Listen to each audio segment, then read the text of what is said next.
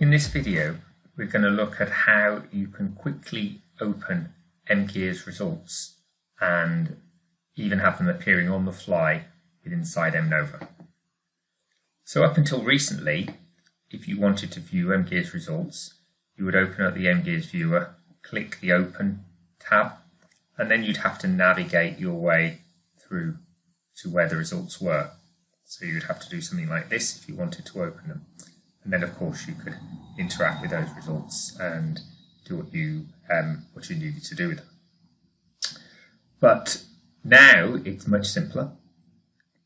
And if we actually run this workflow in MGears here, you can see that if I just go to the Settings tab and tell it to either auto load results when it's finished, or as I've checked here, auto load results on the fly, and then if I click Run, and we run the same MGears workflow, you'll notice that it's cleared the MGears viewer now.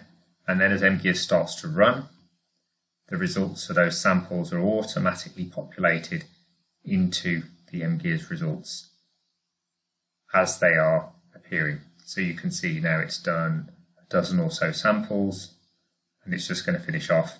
And there we go. We've got access to our results um, just as we wanted but in